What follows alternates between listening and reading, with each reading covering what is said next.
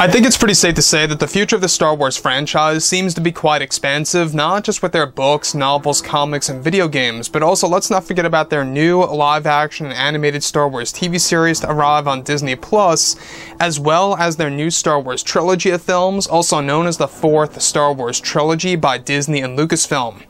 This is Mike Zeroh. Make sure to subscribe if you're new to the channel for future Star Wars content. Now, the one thing about Disney Star Wars is that yes, we do know that they have over 10 years worth of Star Wars projects in the works on Disney Plus alone.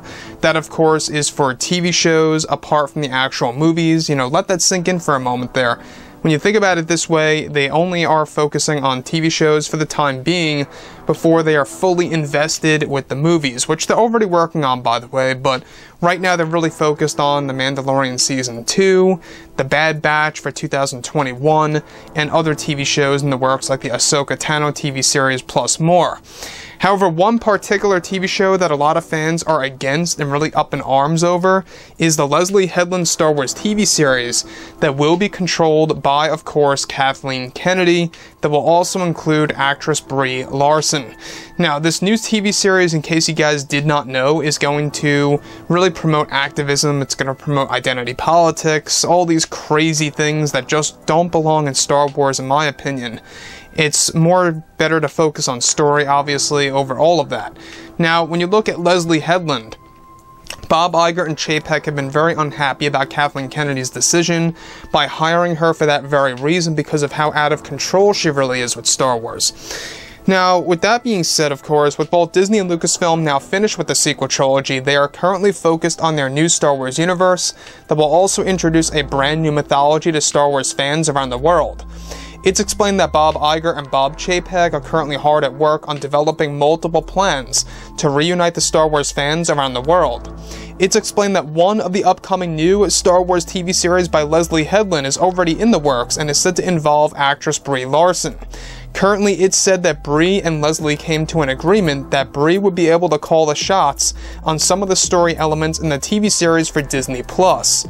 It's explained that Larson and Leslye are set to make major changes to the Star Wars franchise by implementing the concept of breaking the rules of Star Wars and completely changing the philosophy of Star Wars by George Lucas.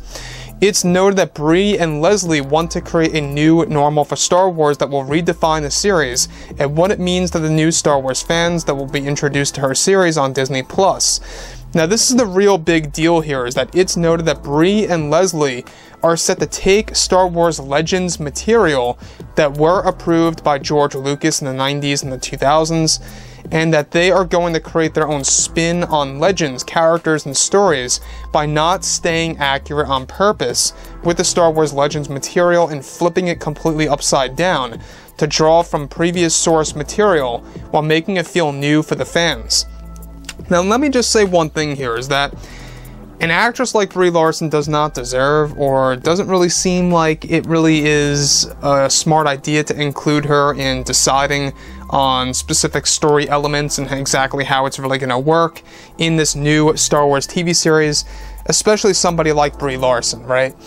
Now, Leslye Headland, in case you guys did not know, she really isn't necessarily a real fan at that. She doesn't even have a favorite film, as she said on camera multiple times.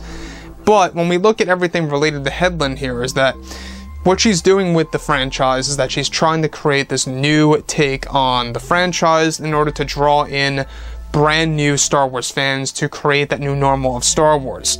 Now, Brie Larson being involved with this with Leslye, taking Star Wars Legends, flipping it upside down, and not staying accurate to the source material on purpose, obviously betrays Star Wars fans. It goes against everything that a lot of hardcore fans really love and enjoy from the 1990s and the early 2000s.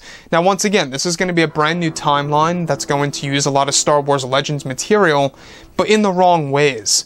You know, this really seems like that this is going to go in a very bad direction, and I really do feel that this could very well be Batwoman 2.0 as far as the backlash goes. It could very well be a repeat of what we saw happen with Ruby Rose in Batwoman and how that TV show really just tanked.